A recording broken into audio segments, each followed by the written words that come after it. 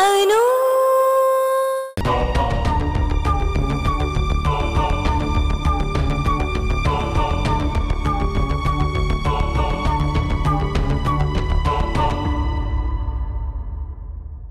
ಅಬ್ಬಾ.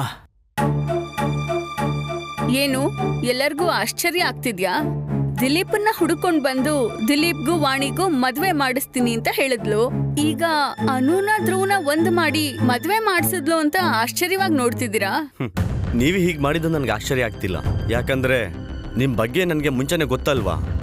ನೀವು ಹೀಗೆಲ್ಲ ಮಾಡ್ತೀರಾ ಅಂತ ನನಗೆ ಮುಂಚೆನೆ ಗೊತ್ತಿತ್ತು.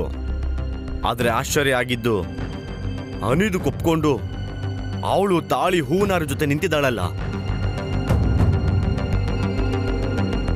ಏನಮ್ಮ? ಇದೇನಾ ನೀನು ನನ್ನ ಮೇಲೆ ನಿಮ್ಮ ಅಕ್ಕಂದ್ರ ಮೇಲೆ ಇಟ್ಕೊಂಡಿದ್ದ ಪ್ರೀತಿ ಗೌರವನ? ಇದಕ್ಕೋಸ್ಕರನ ನಾವು ನಿನ್ನ ಮಗು ತರ ನೋಡ್ಕೊಂಡಿದ್ದು? ಅದು ಬಾವಾ. ನಮ್ಮ ಒಪ್ಪಿಗೆ ಅಷ್ಟೇ ಅಲ್ಲ ನೇಕರು ಸಹ ಒಪ್ಪಿಗೆ ಕೊಟ್ರೇನೆ ಧ್ರುವನ ಮದುವೆ ಆಗೋದು ಅಂತ ಹೇಳ್ದಲ್ಲ ಆ ಮಾತೆಲ್ಲ ಇವಾಗ ಎಲ್ಲಿ ಹೋಯ್ತು?